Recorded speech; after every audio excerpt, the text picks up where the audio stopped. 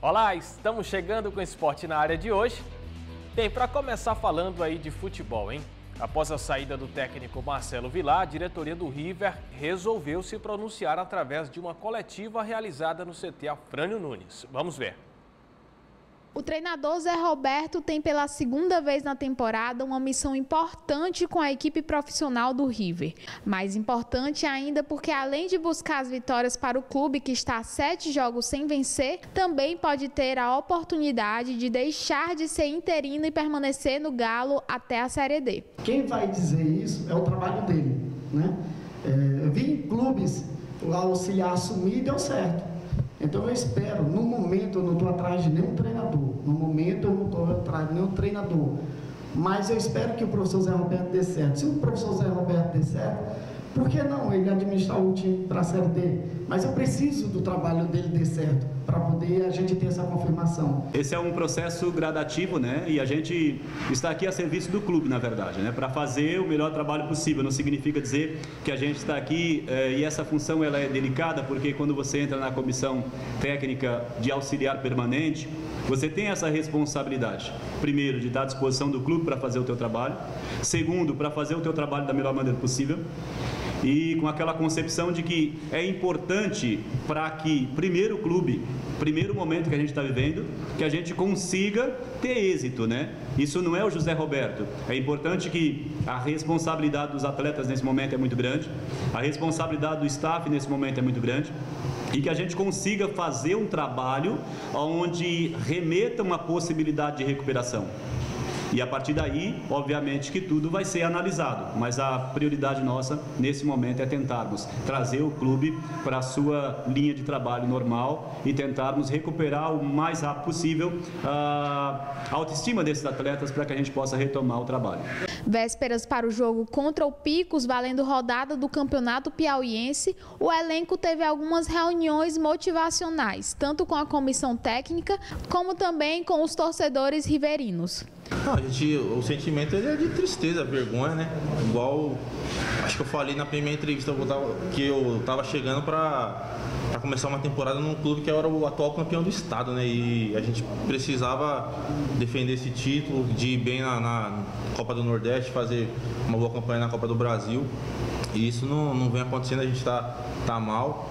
E não só, não só o meu sentimento, mas de todos. Acho que a gente, quando começa a conversar ali, às vezes a gente tenta falar de alguma outra coisa, mas sempre acaba voltando na, na nossa atual situação. A gente fala muito disso, de como sair, de, do que precisa ser feito. E é isso que a gente quer, a gente vai procurar isso aí, a honrar a camisa do Rio até o final.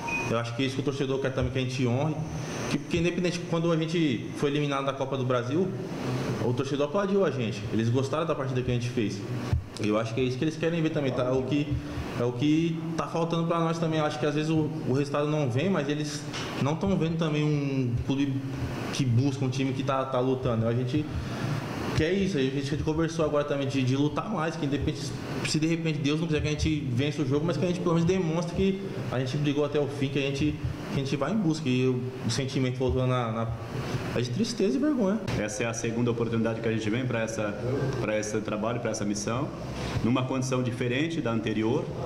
É, e até para tratar de uma maneira diferente como atleta nesse, nessa situação, né? Que é um pouquinho mais trabalhosa do que na, na situação anterior, no sentido de que tem que retomar um pouco o conceito e esses conceitos é, é muito teórico nesse momento, né? Então, o primeiro contato foi ontem para receber os atletas.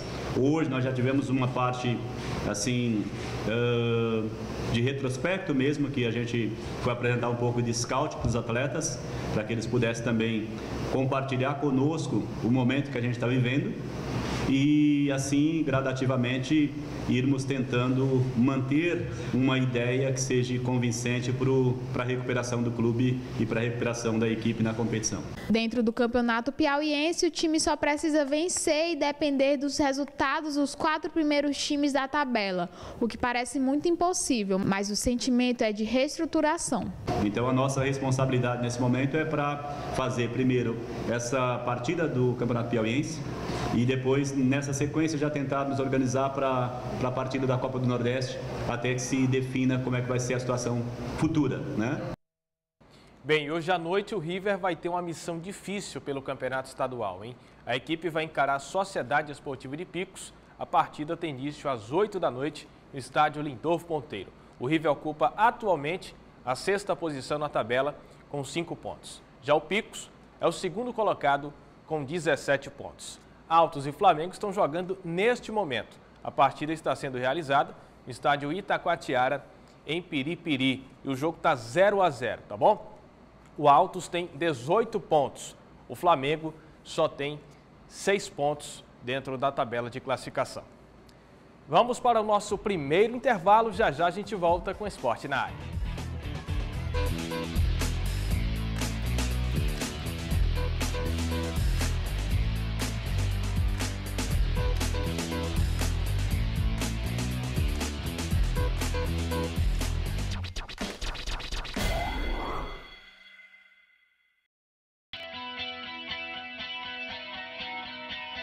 Gosto da forma como todas as pessoas são muito acolhedoras. Eu cheguei aqui bem crua, eu não sabia bem como era trabalhar numa TV e aqui todo mundo me acolheu muito bem, me ensinaram como é que deveria ser feito o jornal, como era que deveria ser feita a pauta e também outras funções.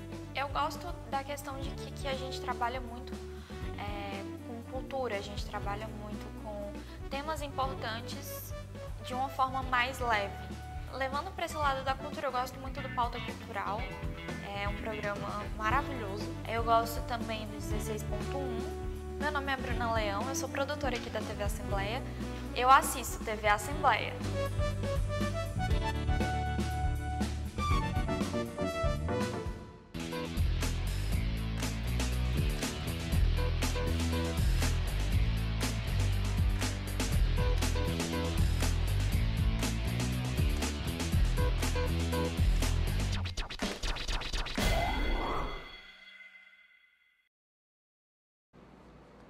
E já estamos de volta com Esporte na Área, agora para falar do Piauí Esporte Clube, hein? A equipe está brigando contra o rebaixamento e vai ter pela frente como adversário o Altos. A partida vai ser realizada no próximo sábado no estádio Lindolfo Monteiro. Vamos ver. No semblante do técnico Kennedy Gomes, a preocupação com a incômoda posição do Piauí no estadual. O time é o vice-lanterna da competição com apenas cinco pontos. E sair do próximo jogo contra o Altos com uma vitória tem sido encarado como uma obrigação pela comissão técnica e jogadores. A gente tem que armar aqui um esquema, né? uma equipe bem qualificada, uma equipe bem treinada pelo Fernando Tonê, mas a gente tem que se impor né, contra a equipe do Altos e a gente tem que buscar. A gente está precisando sair dessa zona, desse desconforto que é a zona de rebaixamento. Mas eu tenho muita fé, eu tenho muita convicção que o Piauí vai entrar nesse sábado lá, lá no Lindolfo Monteiro e eu tenho certeza que a gente vai sair com um resultado positivo para que a gente possa é, já chegar mais um pouco perto ali do, do, dos cabeças. Para o duelo contra o Jacaré, o foco nos treinos tem sido no condicionamento físico dos atletas. Ah, e por falar nos jogadores, a novidade no plantão do Rubranil é a chegada do centroavante Emerson, no lugar do Matheus Guedes, que pediu o desligamento do clube. Estou treinando forte, né? É, como o treinador pediu, como ele falou aí que eu estou vindo da base, é um trabalho assim específico para nós conseguir essa vitória. O Emerson é um, é um garoto que já vem trabalhando comigo há muito tempo, né? um garoto que eu tenho maior confiança. Né, já trabalhou comigo, foi campeão sub-17, foi artilheiro da competição, né, veio jogando alguns jogos, não estava jogando na posição dele, mas contra o Altos eu quero botar ele como fosse o centroavante fixo ali. Né, eu tenho certeza que o Emerson ele vai corresponder né, à expectativa nossa aqui da, da comissão técnica e que a gente possa sair com resultado positivo, que ele possa vir fazer os gols para a gente sair dessa, dessa situação. Bem, tá aí o Kennedy Gomes, técnico do Piauí. Ele está fazendo até um bom trabalho no comando técnico da equipe, mas os recursos são limitados. O Piauí está desde 1985 que não levanta a taça de campeão piauiense, vive dificuldades é, de várias ordens, inclusive. Né? O Piauí tenta apostar na base, mas este trabalho, ao longo dos anos, não vem dando certo. Né? Precisa melhorar esse seu desempenho dentro do campeonato estadual, está na zona de rebaixamento e, se não melhorar e nas próximas rodadas, vai disputar a segunda divisão ao lado do Esporte Clube Timon. Beleza? Vamos para mais intervalo, já já a gente volta.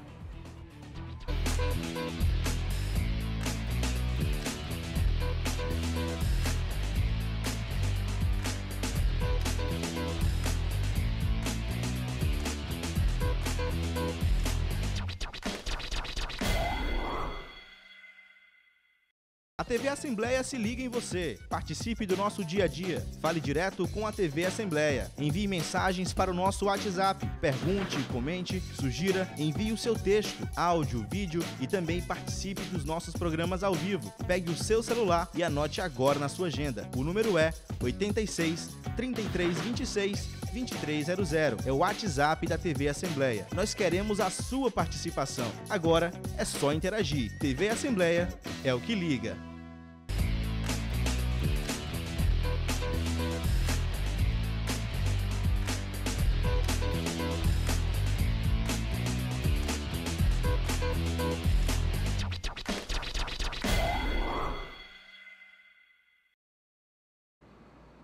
E já estamos de volta com esporte na área, bem agora para falar de judô, hein? Este mês vai acontecer o Campeonato Brasileiro Regional 1 na cidade de Belém. Os judocas piauienses estão se preparando para a competição e um deles é Stanley Torres. Colecionador de 10 títulos do Campeonato Brasileiro de Judô Regional 1, o Stanley Torres está se preparando para mais um desafio dentro da sua nova categoria, que é meio médio de até 81 quilos. A competição, que também vai contar com outros judocas piauienses, vai acontecer nos dias 28 e 29 desse mês de março. Treinamento para o regional, sempre a gente começa é, tipo, dia 15 de janeiro, no começo do, do ano já, porque é um campeonato que vale pontos no ranking, né? Então, é, a gente sempre tem que estar tá treinando forte, sai de um mês de férias e começa a pré-temporada o mais rápido possível, porque como já começa a pontuar, é uma competição muito importante e é muito forte. Atualmente, o Stanley é campeão da competição regional e já venceu em 2017 o brasileiro. E para obter bons resultados, este ano os treinos seguem firmes. A gente está intensificando um pouquinho mais, agora está chegando mais próximo do campeonato regional e eu sou professor juntamente com o professor Queiroz. A gente divide essa, essa responsabilidade em relação ao Stanley. E a gente está tentando manter um, um plano de, de treino a parte física que a gente tem, ele tem que, até porque ele subiu de categoria ano passado, para 81 quilos, ainda está se adaptando ainda a essa nova categoria. Então a gente está voltando agora para um novo ciclo olímpico que vai começar e tentar novamente quem sabe aí brigar por vaga em seleção brasileira novamente. Já é a primeira fase para o Campeonato Brasileiro final.